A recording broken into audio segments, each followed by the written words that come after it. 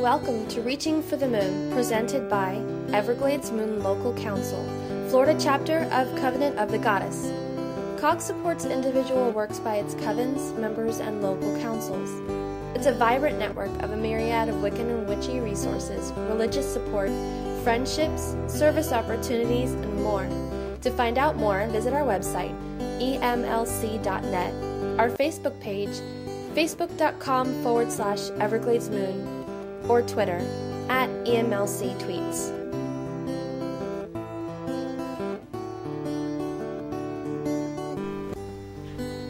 Hi everyone, this is Lady Bridget, and welcome to episode 16 for Samhain, the Witch's New Year. For those of us who are Covenant of the Goddess members, Samhain is the start of the new Board of Officers, both at the local level and at the national level. I took this opportunity to interview Kasha, who is the outgoing National First Officer, and she was kind enough to share some of her thoughts with us. This is Lady Bridget, and I'm here with Kasha, the National First Officer of Covenant of the Goddess, who is soon to retire that position in 28 days. As of November 1st, your replacement takes over, and you've been the first officer for the past two years. Right. And um, that's never an easy position. What are your plans for the future now that you're going to be out of the spotlight, so to speak? Uh, well, my personal plans for the first little bit is just to um, rest and disengage a little bit. I think um, November 1st might be the first morning in two years that I haven't needed to check my email before doing anything else. There's a lot of communication responsibilities with the first officer, and I feel like our members deserved when they communicated with us really quick response. So I think I might unplug for a little bit. But then my focus will remain with my local council. Um, I still have coven work to do. I'm still involved in the Pagan Pride Project, so there are plenty of things to keep me busy. I have a spouse who I've spent less time with over the past couple years than I had planned. Um, so yeah, just regroup and focus my energies on local things, probably rather than the national picture. Cool. Yeah. Yeah, it's it's difficult to go from actually sometimes it's difficult to go from the local to the national, and then sometimes there's a little bit of relief when you can step back from from the national and get back down to the local level Yeah. where things are a little quieter. I'm looking forward to it. Well, and I think I have a, you know renewed perspective too. I have an understanding, a better understanding of how some things work. So that Yeah. will help me with my local work. Yeah, very true. And consensus is a very hard thing, and I know.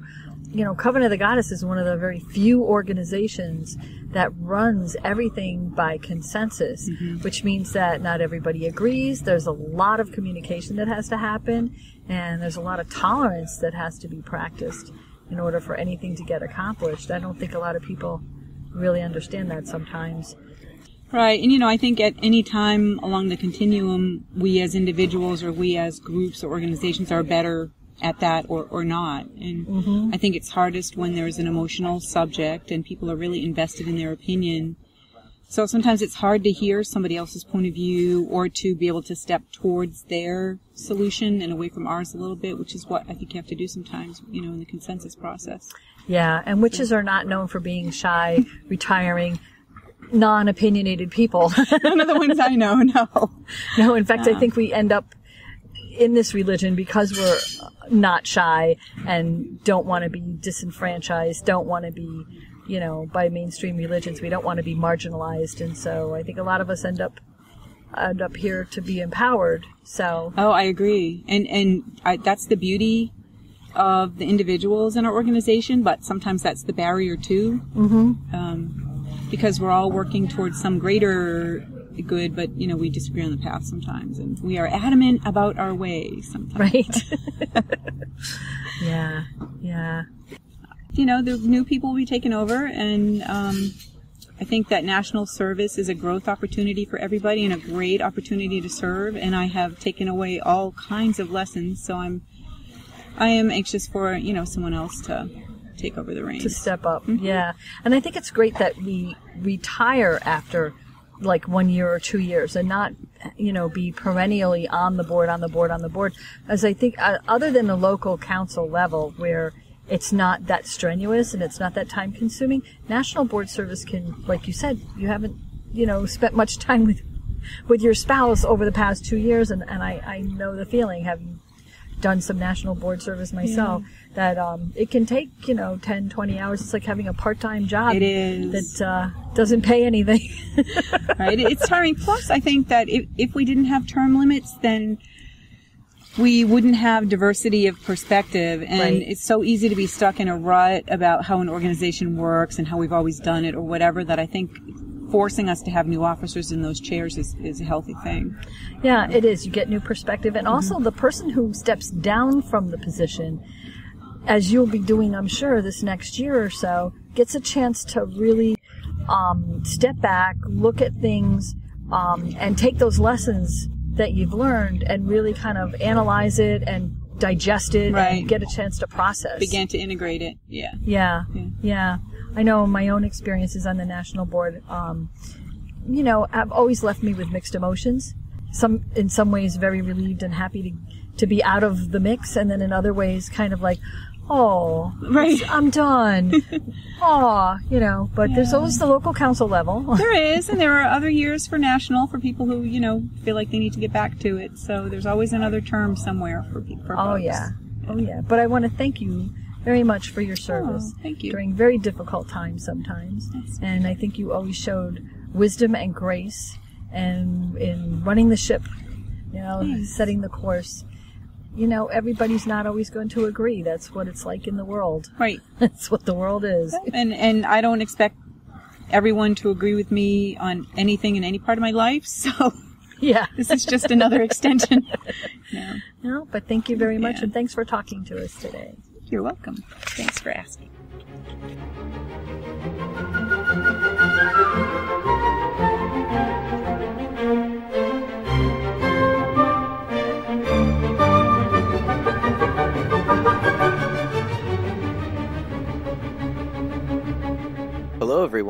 My name is Aequitas, and I'm an astrologer. On today's segment, we're going to be exploring the signs of Scorpio and Sagittarius. We want to remember that while one's sun sign may not be in either of these two signs, some of these attributes may apply to us, particularly if we have house cusps or particular planets in these signs in our chart. Scorpio is a fixed feminine water sign. The traditional ruling planet is Mars, and some uh, modern astrologers use Pluto as an associated ruler, but most astrologers today still use Mars as the ruling planet.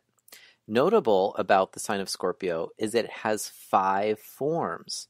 That's right, there's actually five different archetypes within the sign of Scorpio. And Scorpio being the sign of transformation, it's very fitting that it has so many forms and can take on so many different personas. So the first one is the scorpion. That's kind of obvious, right? The second form of Scorpio is a venomous snake, such as a cobra or a water moccasin. The third form of Scorpio is the eagle, as in the bird of prey. The fourth form is the phoenix, the mystical bird that rises from its own ashes, symbolizing rebirth. And then there is the final form of Scorpio, which is the white dove, because it is opposite the constellation of Taurus and the Pleiades cluster. So, what kind of Scorpio is someone? That all depends on their intentions. The positive attributes of Scorpio are many. They can be very passionate, strong willed, firm, magnetic, involved in science, have a research oriented mind.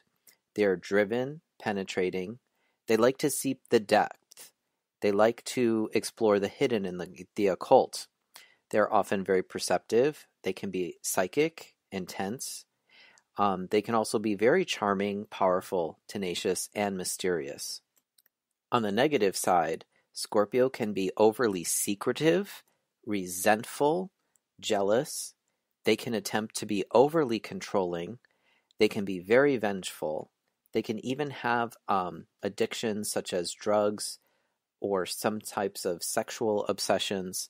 They can be sarcastic, deceitful. They can be also a very negative thinker. One of the ways in which the sh- sign really shows its Mars rulership is in its strategic, almost military like thinking. They're very much concerned with the power behind the throne compared to Leos, who like to be on the throne themselves, you'll find Scorpios really figuring out where the true power lies. They have a natural tendency to see past the surface and um, superfluous aspects to really get to the depths and the inner workings and knowings about people and situations. In this regard, optimal careers for uh, Scorpios include surgeons, pathologists, military strategists, armed service members, detectives, private eyes, archaeologists, and energy workers, investigators, scientists, psychologists, and psychoanalysts. Next, we have the sign of Sagittarius, which is a male mutable fire sign ruled by Jupiter. Also, Chiron, the asteroid, is now uh, in modern times associated with this sign. Notable characteristics is it's the only half human, half horse depicted in the zodiac. The positive attributes of Sagittarians include um, being optimistic, bountiful, philosophical, friendly, uh, very jovial, very liberal, professional minded. They're always interested in things of a higher nature, such as learning, scholarly pursuits. Um, they are also very loyal, generous. They try to be inspiring. They're very inquisitive. They seem to have endless energy and potential. They're also very strategic in thinking, like Scorpio, and they're also very much travel minded. They, they are known to be mentally sharp, uh, very um, global and like macrocosmic in their perspective of things. They're very fiercely independent of their beliefs and thoughts uh, in their mind. On the negative side of Sagittarius, they can often be very reckless and they can be risk takers, especially when just their self is concerned. They can become very over opinionated and very judgmental and very excessive. Uh, sometimes, in the negative side, they can be very self indulgent. They can be known for gambling and drinking problems. They can also suffer from something that Virgo suffers from, which is being an overgiver and being very excessive in their help that they lend people, which at some point we all have our limits. And sometimes Sagittarius can overextend their helpfulness and then may become even a little resentful when their help is uh, given and given and given, and not a lot of at least reciprocation or or even a thank you is returned. They can also be very um, sharp mouth they can get very preachy and they can also get into right versus wrong games and become mentally stubborn oftentimes. One thing to know about Sagittarius is actually they're very ultra, ultra sensitive. They actually are pretty thin skinned, even though they don't act like it because they're usually tend to be very happy go lucky, but they can take things very, very personally, even though they don't come across this way you'll know that you've upset a Sagittarius because they tend to become very mouthy when they get upset. And boy, do they know just how to say the right words to you that will cut you to the bone. On the plus side, Sagittarius are deep truth lovers. They really dislike dogma. They also are more stubborn than a Taurus about a target when they have a goal that they're committed to, they are willing to lay down their life practically in pursuit of that goal or that higher ideal. Sagittarius absolutely needs to be um, what we call mentally stimulated. They love to exchange ideas and be exposed to uh, deep thinking and high minded conversation. On the flip side, Sagittariuses really love a good party. So just as they m- love hanging out with the philosophy crowd, they also love hanging out with the party crowd, too. You need to keep one step ahead of Sagittarius to keep them interested. Ideal professions for Sagittarius include professors, philosophers, conceptualists, questers, explorers, and warriors. Remember, they're one of the only signs of the zodiac that's actually carrying an armed weapon. The higher minded Sagittariuses become what we know know as spiritual warriors.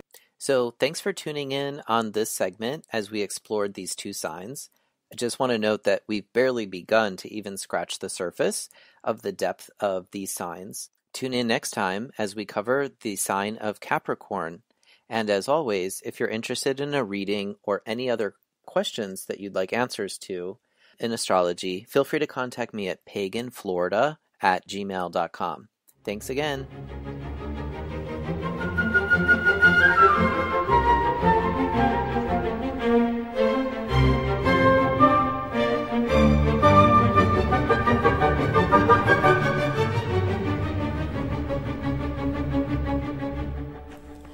Hi, this is Alpandia, and after a brief hiatus, I'm back with another Pandie's Pagan project.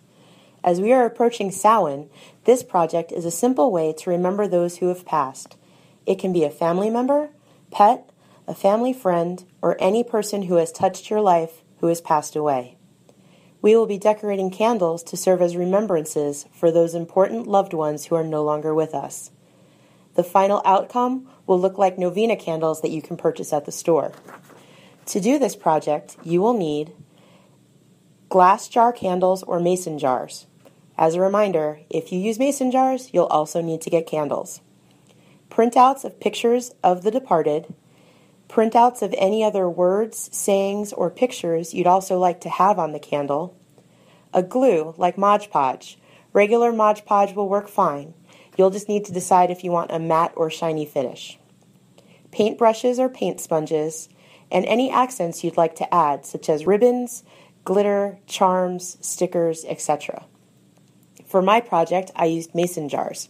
I picked ones that were pretty smooth on the outside. I'd recommend that whatever you're using have a fairly smooth surface.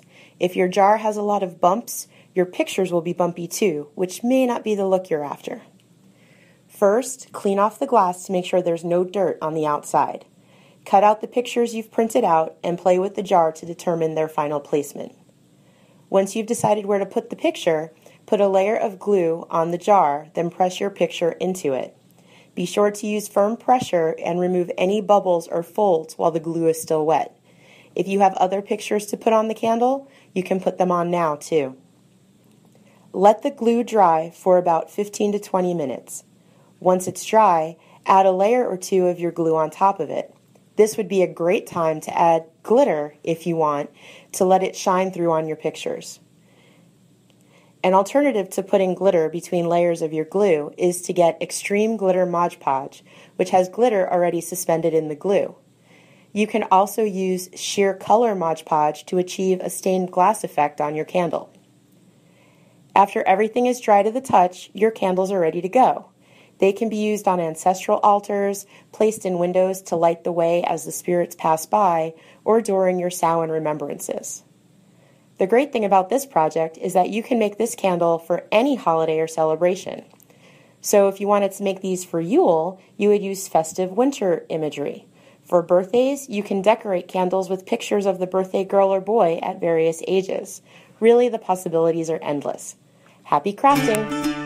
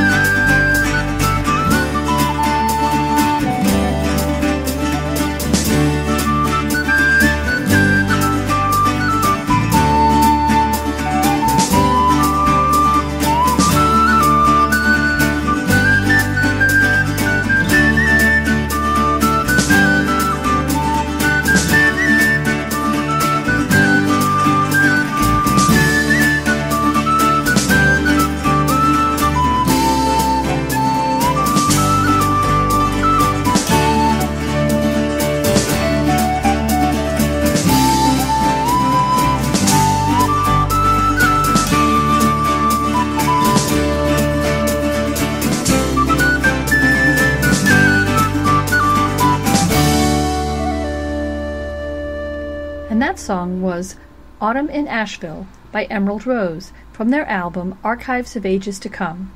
We will be ending the show also with another song by Emerald Rose called Summerland. You can find out more about Emerald Rose and purchase their many albums by visiting their website at www.emeraldrose.com.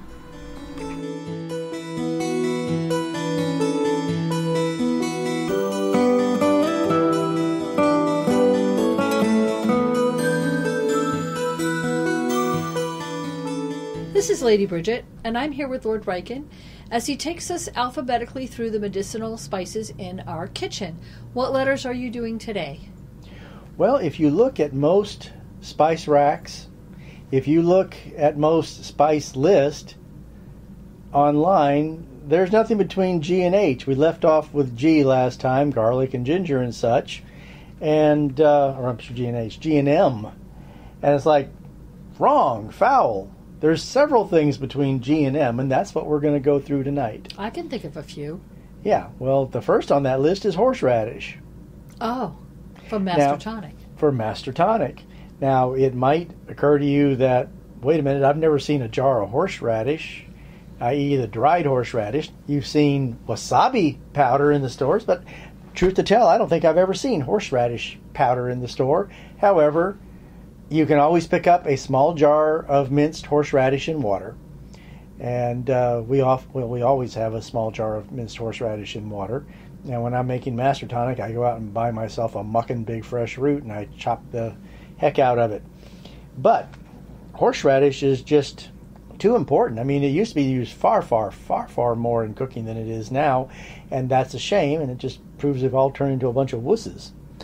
But let's get on with. Uh, we're also going to go through uh, lemongrass and lemon peel. So at any rate, horseradish.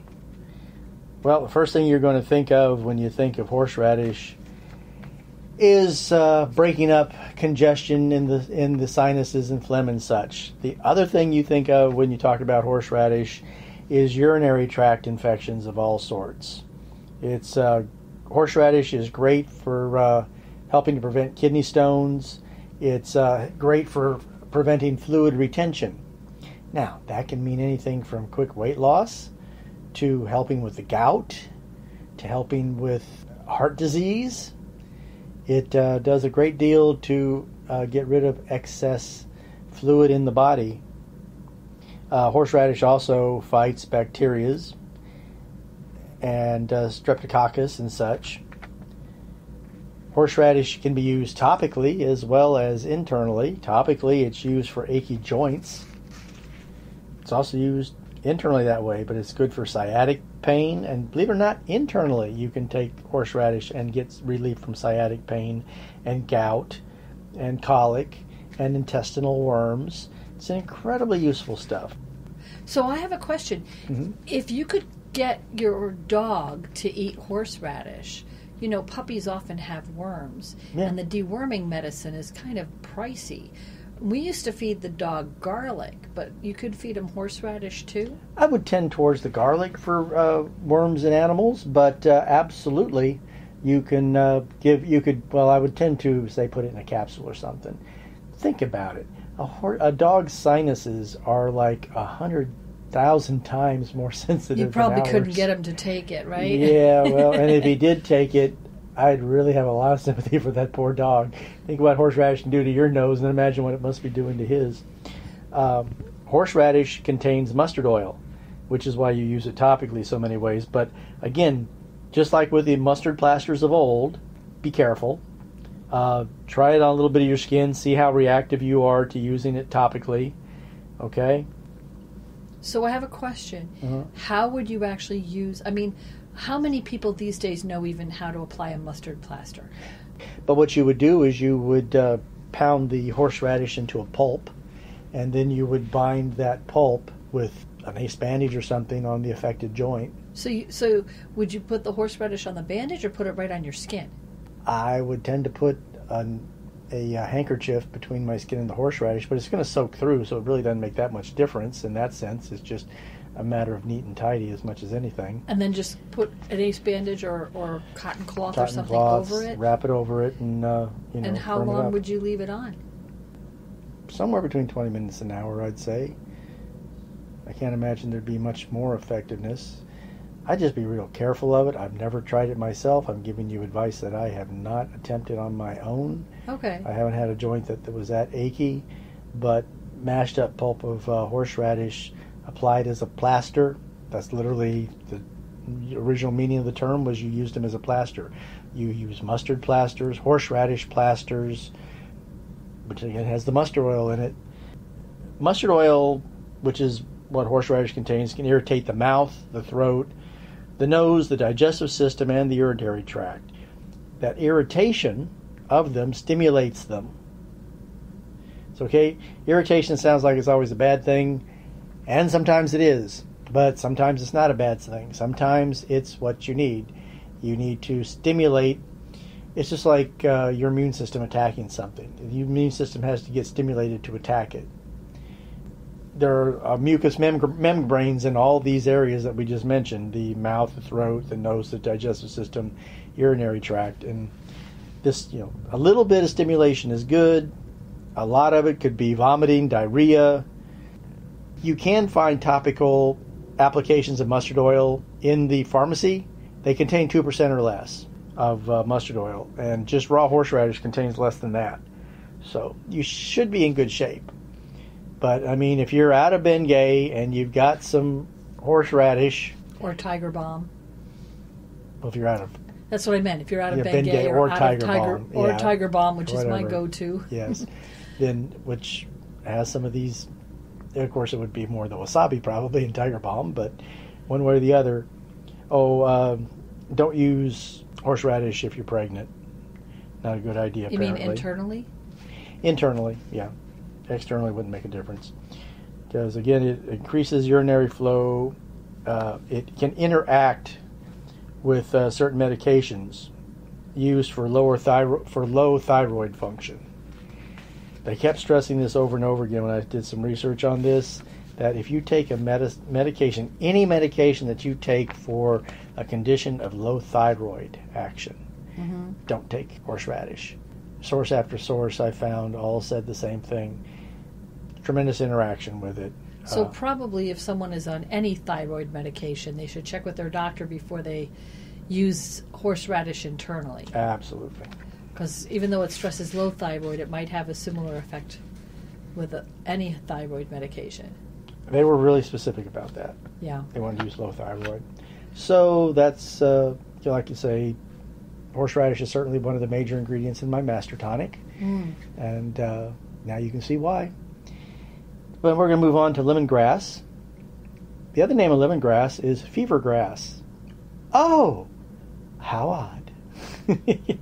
Even its common name in certain parts of the world indicates its medicinal use. Lemongrass, taken as a tea, dried is required in some things, fresh is preferred in others, but lemongrass taken as a tea helps digestion. It promotes the good bacteria. It treats indigestion, it treats constipation, heartburn, diarrhea, bloating, flatulence, uh, stomach spasms, cramps, and vomiting. It controls cholesterol. It reduces the absorption of cholesterol from the intestines into the bloodstream. Wow. How about that? I knew about lemongrass, you know, as a, a digestive aid, but I was surprised to see that apparently a glass of uh, lemongrass tea every day can be good for uh, keeping your cholesterol down by blocking the cholesterol from getting into the bloodstream in the first place. I guess I'm going to have to add that to my uh, tea regimen.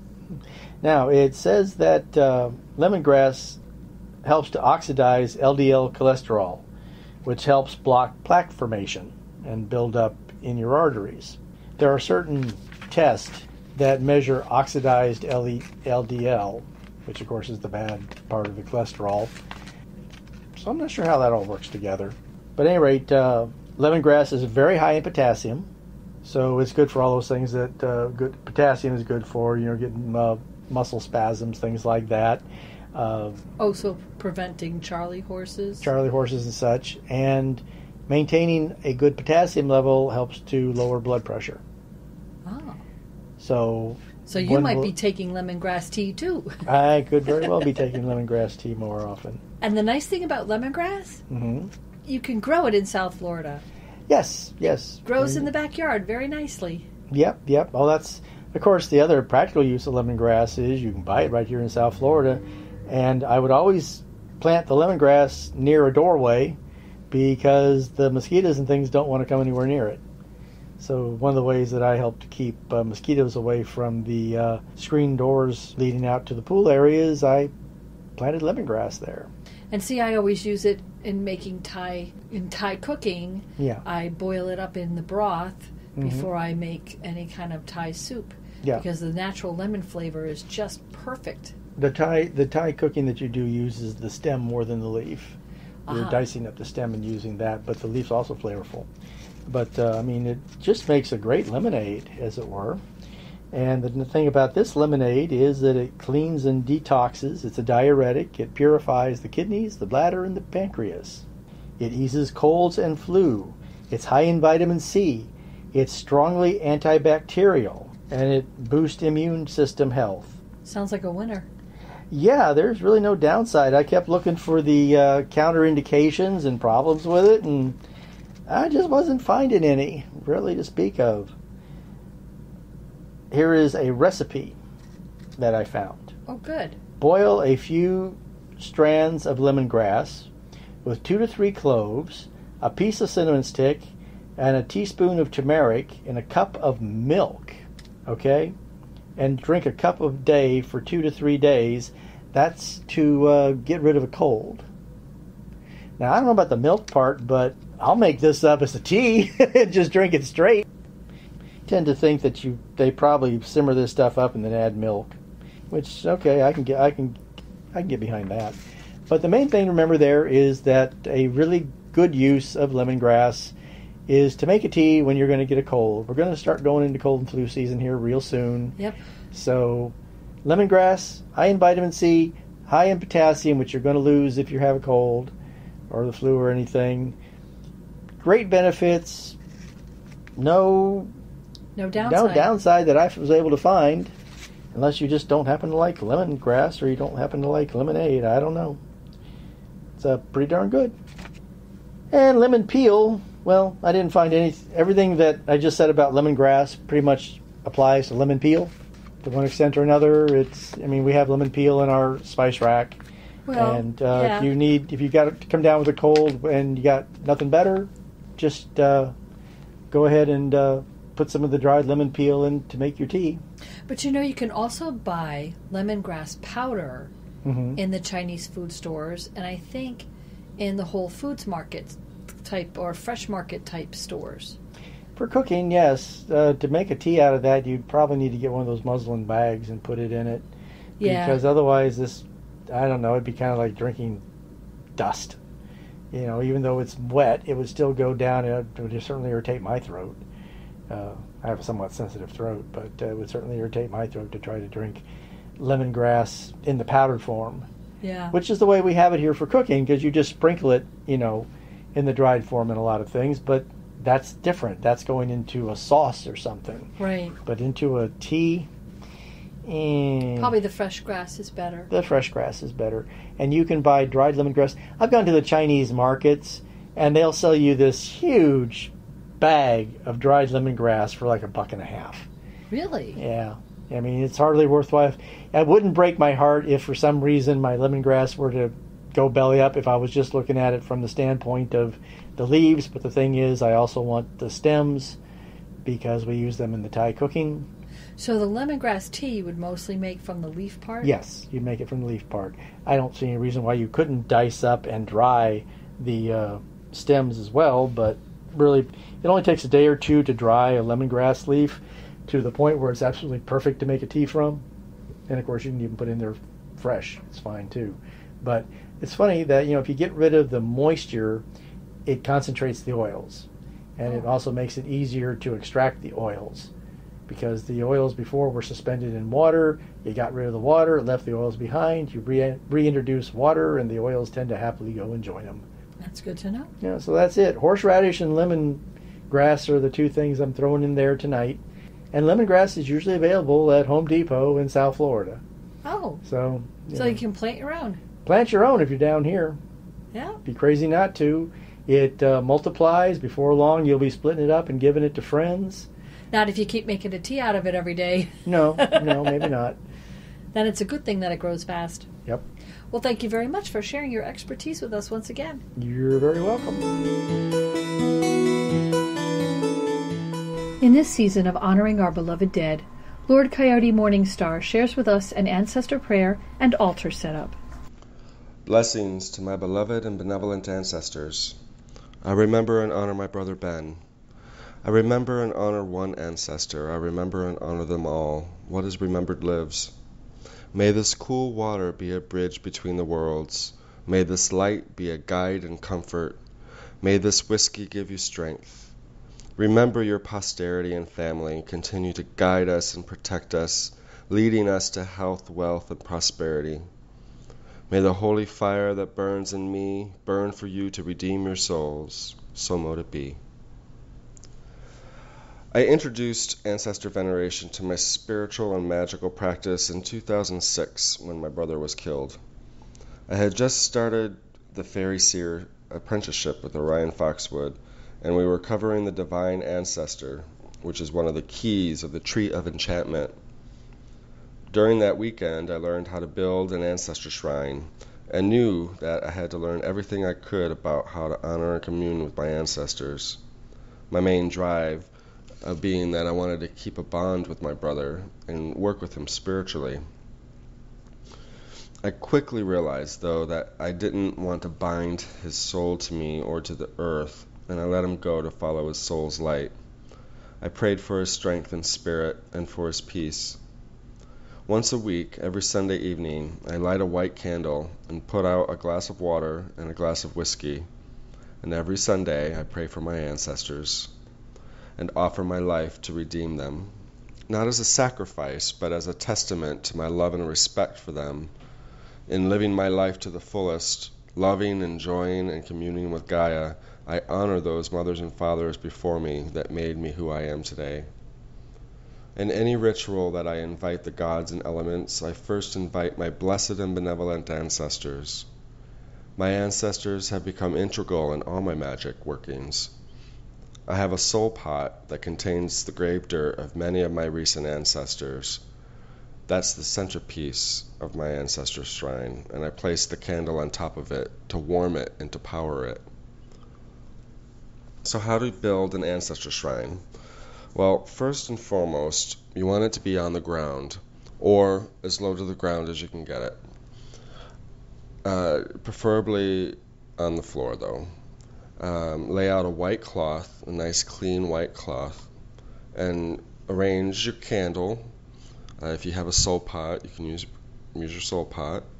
Uh, pictures of your dead loved ones, mementos, um, jewelry, little knickknacks, anything that reminds you of your loved ones. Um, you can have uh, for blood ancestors as well as uh, spiritual mentors, um, any sort of mentor, teacher, or, or anyone that has affected your life, or maybe you were raised by someone who wasn't your blood family. You know, those would be your family, those would be your ancestors as well. I like to have Florida water uh, available on my altar. Sprinkle a little bit around, it makes it smell good, and the spirits love the smell of Florida water.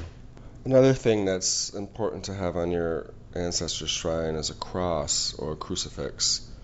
Uh, even though I'm not Christian, my ancestors were, and so it's a powerful symbol for them, and it's also a crossroads symbol uh, between life and death. And uh, Christ was himself a living crossroads, being that intermediary between life and death. So, also on the my shrine, I have a skull or a figure of uh, Lady Death, and um, along with my white candle, a clear glass of whiskey and a clear glass of water. A good way to help connect with your ancestors is to make a family tree and write as many names as you know. My mom is a genealogist, so I have a wealth of names. The prayer I started with in the beginning of this talk is severely cut short. Um, the original prayer listed all of my ancestors that I know back to my great grandparents. And I took it further and listed all the surnames that I had on my tree, which is a lot of names. Then I came across um, in my research a variant prayer that states, I remember one ancestor, I remember them all. So in the years that followed, I've shortened that prayer to naming just one ancestor. And sometimes it'll be my brother Ben, and sometimes it'll be somebody else.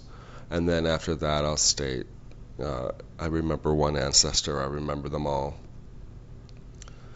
So start by writing a list of all those closest to you who have passed over.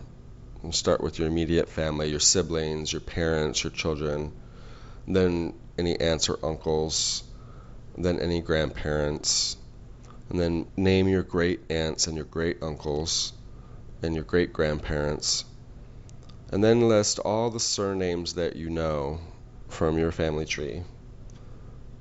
And if you don't know that many names, or if you don't know any, that's okay. Just say, I remember and honor my blessed and benevolent ancestors, and that'll be good enough. If you don't like your ancestors, well, remember you're inviting your beloved and benevolent ancestors, those that support and uphold you. You don't need to know their names. We have countless ancestors and they're not all bad people. They're not all assholes. So, on that note, I'll close with a quote from the song We Do Not Die by Velvet Hammer. We do not die, we are not gone, we are alive, we are just on the other side, we are not dead, we are alive, we do not die. Blessed be and have a blessed Samhain.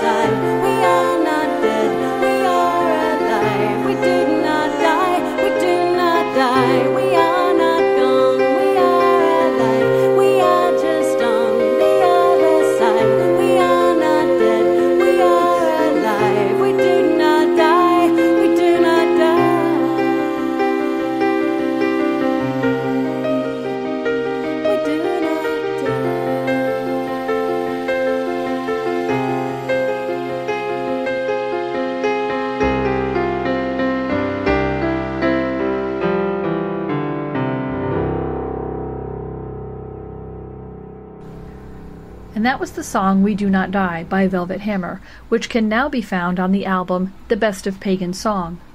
You can find out more about Ginger Doss and buy her music on her website at www.gingerdoss.com. That's G I N G E R D O S S dot com.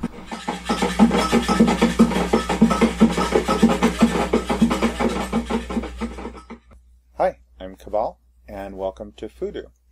So for the Samhain podcast, um, I thought I would go over yogurt making. Um, I make my own yogurt, and I'm asked quite a lot of times how it is that it's done. Many people think that the process is mysterious, but it's actually very, very easy to do. If you've never done it before, I highly recommend that you give it a try once. The final product is going to look and taste uh, much different than the products that you buy in the store. And the answer to why it tastes so different is really very simple, is that you decide all the ingredients, including the amount of sugar and additives that will go into it. So you're in control of texture, taste, and everything that goes into that final product. And ultimately there will be nothing artificial added. It will be a significantly better product than really any store-bought version and as an ingredient for recipes um, that you might make out of the yogurt, you're really going to notice a difference because your yogurt is really going to be an artisanal creation. So the final product that you use the yogurt in will taste a lot better too. So how you do it is uh, very simple. You need a couple of pieces of equipment, but really nothing specialized. And the first piece of equipment that you need is a glass container that is preferably a Pyrex container. And I'll explain why uh, the Pyrex container is better in a minute. But if you have a container that has a lid, it's even better. And the one that I do recommend is a 7 cup Pyrex container with lid. It costs about $8 and you can find it at most stores like Target or Walmart. The glass is non-porous and that's particularly important. And the lid is BPA free. Um, BPA is a compound called uh, bisphenol A and it's found in many plastic products and the current science says that we probably don't want it um, in our food or in our drinks. The second piece of equipment that we need is nothing more than a food thermometer. But this is a piece that you can't do without. You must have a food thermometer in order to um, to make yogurt. It is your tool for infection control. So if you don't have one, do not try this. Um, you can't go without it. You can choose a digital or an analog thermometer as long as it gives you temperatures in clear increments. And there's a classic pocket thermometer that's a circular top and it runs for about six bucks and a simple instant read digital one is about 15 bucks. And again, you can find those just about anywhere. That's really it for the must-haves. And of those two, the thermometer is something you must have. Um, other tools that are going to be useful are going to be a wire whisk and a metal spoon. Um, but one word of caution, your equipment should only be uh, glass or metal. So your whisk really does have to be wire and your spoon does have to be metal. It should not be made out of wood and you can't really use any porous materials. The reason is, is that such material can harbor bacteria. And no, you don't need a yogurt maker. The yogurt maker can be useful because it allows you to control the temperature for very long periods of time. And some of them do come with alarm settings so that you know when the yogurt is ready. Now if you choose to purchase a yogurt maker, check the thrift store first because you can find these for five to ten dollars at many thrift stores occasionally. But again, you don't really need one. All you need is a reasonably warm place like your oven. And in Florida, it's not really going to make that much of a difference uh, because you'll be able to control that high end of the temperature relatively easily. So to get started, all that we need to do is to have milk and we need yogurt culture. And the ratio between the two of them is two tablespoons of active yogurt culture to one quart of milk. For the milk, you can choose any kind of milk that you'd like, um, including for cow's milk, fat free 1%, 2%, or whole. You can also use nut based and soy milk. And the steps are identical no matter which kind of milk you choose. The last thing I think I should say about milk is that you can use raw milk. However, raw milk is not only hard to find, it's also highly regulated in terms of its sale. There are a few sources in Florida, and what you'll need to do is find a local farm that has dairy cows and speak with them about whether they are able to sell you any raw milk. It will produce an outstanding product. However, it has to be processed very, very carefully. Um, personally, I recommend that you use store-bought whole milk for the first time. It will give you a sense of how great the yogurt product that you make can be, and it will also give you a very good base for experimenting in the future. For the active yogurt cultures, you'll need to find a starter culture, and you can find that in some health stores. Just ask if they have yogurt starter cultures, and they usually keep it in the same section where they keep other dairy products. Or you can go the more simple route of purchasing a store-bought product that is a natural yogurt and reads on the label that it has live active cultures. So if you go to your store and you look in the dairy section, you'll see that uh, some of the yogurts will say live active cultures, and th- those are the ones that you want to use. However, it must be plain yogurt. It must not have any fruit or any other flavoring in it, in it, including vanilla. So just plain, plain yogurt. Okay, so now that we have our yogurt culture and we have our milk, we need to pour the milk into a container and place it over heat until it reaches 160 degrees Fahrenheit. And you'll check you'll check that temperature with your thermometer. If you choose to, you can pour the milk directly into the Pyrex bowl and then heat it in the microwave. It's just a quicker way of doing it. And again, the target temperature is 160. Now I should point out that many recipes suggest raising the temperature even higher to 200 degrees Fahrenheit. If you have any concerns about bacteria in the milk, then you probably do want to raise the temperature even higher to 180 or even 200 degrees. But this is a balancing act. What you're doing here is you're sterilizing the milk, but at the same time, the hotter you get the milk, the more you'll break down the natural enzymes and those natural flavors in the milk that will give your final yogurt product the intense flavors that you want over the store bought. I personally use 160 degrees. However, you may want to raise it to 200 degrees depending on your individual situation.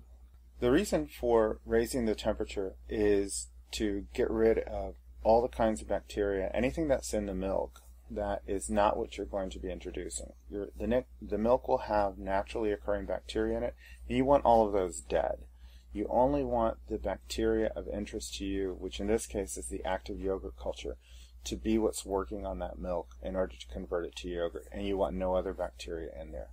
Those bacteria will be killed off at 160 degrees for a few moments.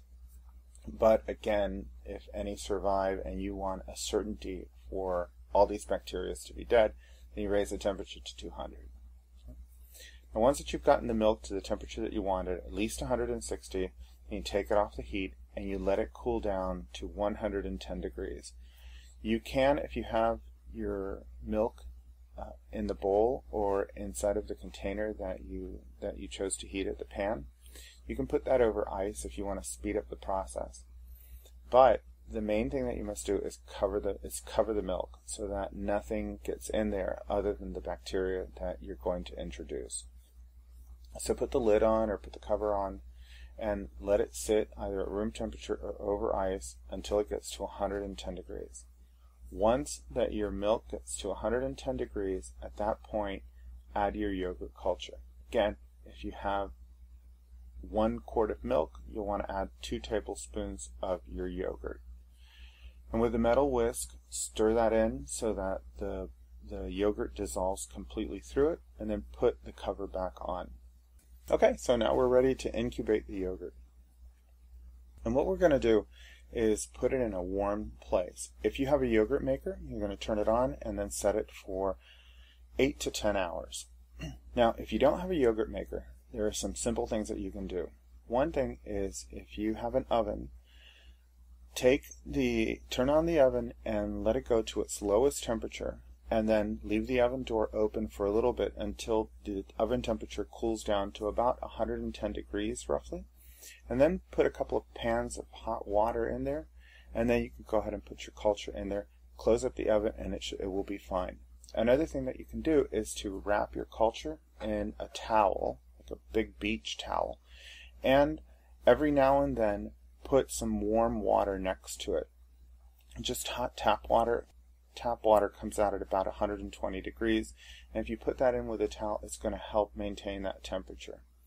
So those two very simple solutions for Florida are actually will actually work pretty well. The objective is that you want to keep the temperature at about 105 to 110 degrees for those 10 hours. The towel trick will work absolutely perfectly. The oven trick will work absolutely perfectly. The yogurt maker, of course, will be kind of a set it and forget it thing. After 10 hours, your yogurt should be ready. And so you'll want to uncover it and with a metal spoon stir it around and see what the thickness is. If you want it a little thicker, let it sit some more. If you want it tangier, then you can let it sit some more. You can let it go for up to 12 to 14 hours. At that point, your yogurt is really done. The longer you let it go, it'll be a, a stronger, tangier yogurt. I like mine at about 10 or 11 hours. Once that it's ready, it goes into the refrigerator and let it cool down. At this point, let it sit overnight for at least or at least uh, five or six hours so that it is completely completely cooled. The lower temperature will completely stop the fermentation process, and your yogurt will um, will be ready to eat. Okay, so now that our yogurt is ready, we can make one more decision, and that is whether we want to take the yogurt that we have and convert it to Greek yogurt. That process is even less mysterious than making yogurt. What we need to do is to get some of the whey out of the yogurt. And how we do that is nothing more than strain it. Greek yogurt is regular yogurt that has been strained, nothing else. So one way to do this is to put some cheesecloth in a colander or a sieve and let the yogurt pour over the cheesecloth and let that sit for a half hour to 45 minutes and let all of the whey or as much of the whey as you can uh, leak out of the yogurt. The easiest way to do that is just put it in the sink and let the colander sit on top. Pour the yogurt in where the uh, put the cheesecloth in the colander, pour the yogurt in, and just let it sit there. If you don't have any cheesecloth, you can get away with some good paper towels that particularly good thick paper towels and you can line a colander with it and then pour the yogurt on top of that. Let that sit over the sink for 30 minutes. And again if you have a sieve you can do the you can do that as well. When the yogurt sits for 45 minutes it will become thicker and thicker um, reaching the consistency of kind of a frozen ice cream even. And when that's ready, just put it back in the container and then put it back in the refrigerator. And your Greek yogurt is ready to eat. Okay, so the last thing is how sweet do you want your yogurt? If you choose to add sugar, add it to taste and mix it in with a whisk, but let it sit for a while uh, so that the sugar has an opportunity to dissolve. A good 45 minutes should give you a sense of that. And add it slowly to taste um, at a time. So add a minimum amount of sugar and then check it about 45 minutes later to see whether it's as sweet as you want. If you wanted to add a sugar substitute, you can add that as well. And again, what I recommend is that you keep tasting it until it gets to the sweetness level that, that, that you'd like. The yogurt will be delicious just by itself, so you don't really need to add any sweeteners to it. And finally, if you want to mix it with fruit, or you want to add fruit to the yogurt, the fruit should really be heated up first so that you kill off any bacteria before it's introduced into the yogurt so that you have a relatively stable product with no worries of additional bacteria um, coming in from the fruit. And ultimately, you'll store it just like store bought yogurt uh, inside of its container and inside of the refrigerator. And the last thing is that you never want to eat it all. So as you're eating your yogurt, you want to be attentive that you always want to leave two tablespoons of your yogurt for your future one quart of milk. you can take the yogurt that you've made, as long as you've added nothing to it other than sugar or, or a sweetener, and you can use that as the base for your future yogurt. And over time, you develop your own strain. Now, there is a small controversy that's here, and that is how often should you renew the yogurt culture? And it seems that every five or six generations of yogurt, it might be good to introduce some brand new active yogurt culture so that you minimize the chance of any unwanted bacteria taking over your culture. So that is yogurt making. I hope you give it a try. And this is FooDoo. Ancestor blessings and happy Samhain.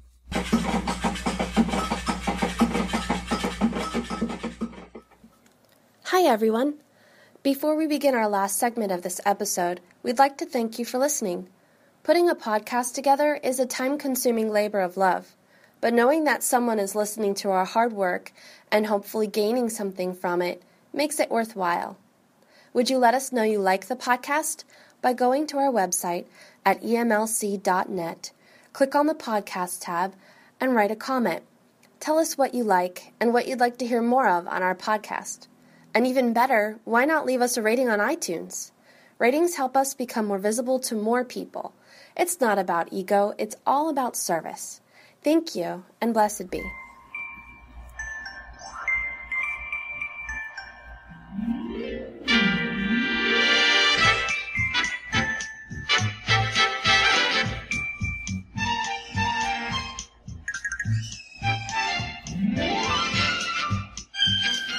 Hello, my name is Shaylee.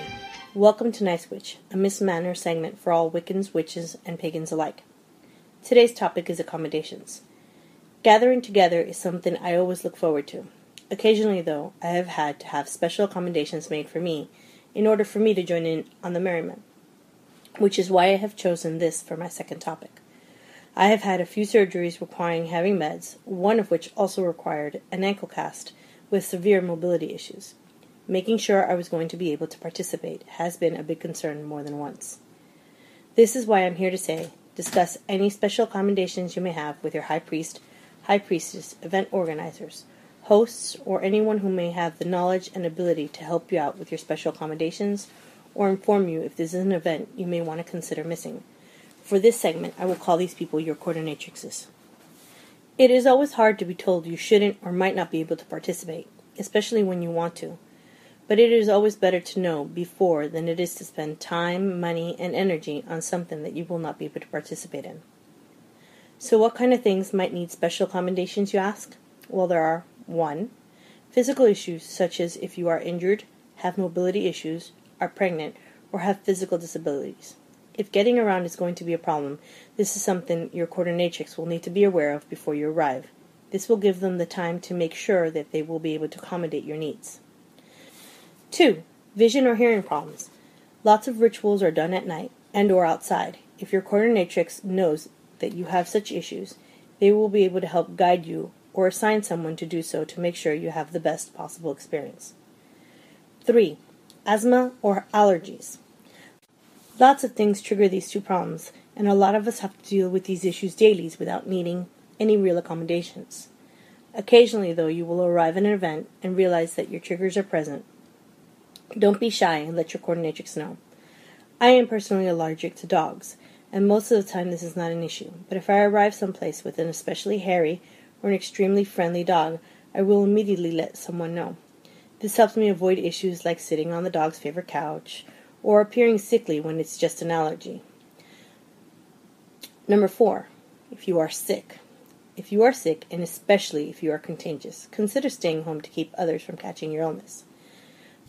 But if you feel you must attend an event or ritual, please let your coordinatrix know so that they can make any necessary accommodations, such as providing your own chalice.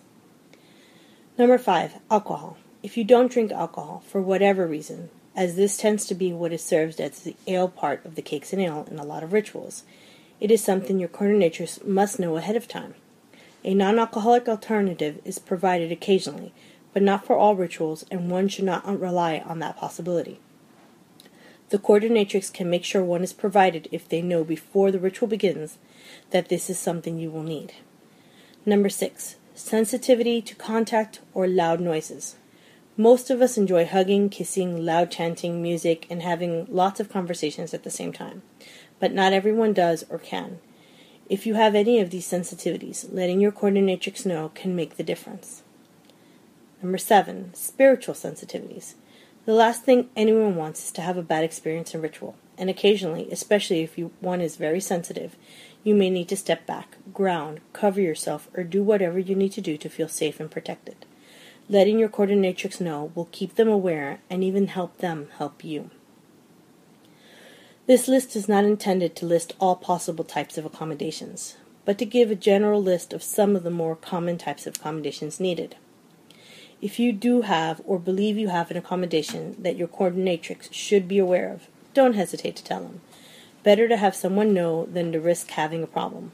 Remember, whether we are all gathering to honor the gods, celebrate the seasons, mark the turning of the wheel, perform rituals, simply to enjoy each other's company, or whatever the reason be, we are gathering, and we need to be considerate of each other. So enjoy yourselves, and remember to be a nice witch.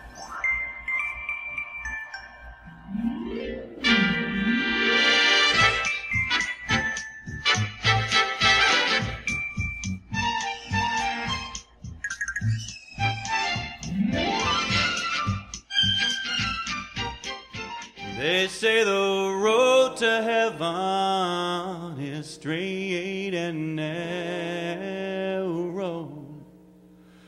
And they say the road to hell is smooth and wide.